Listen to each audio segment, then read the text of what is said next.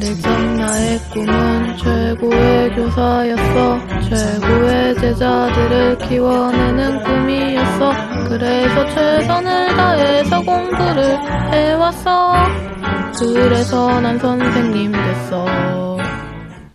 네모난 학교와 네모난 학생들. 네모난 학교와 네모난 선생님들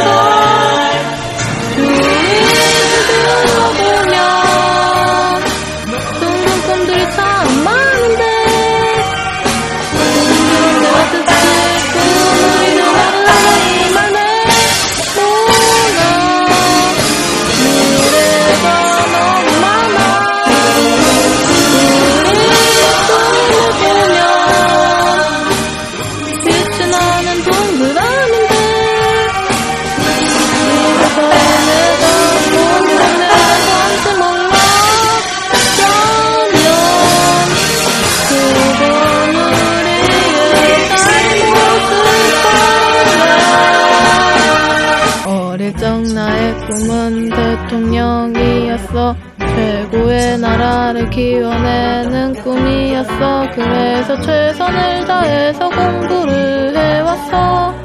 그래서 난 대통령 됐어.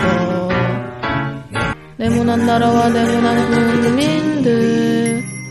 국민들의 빗발치는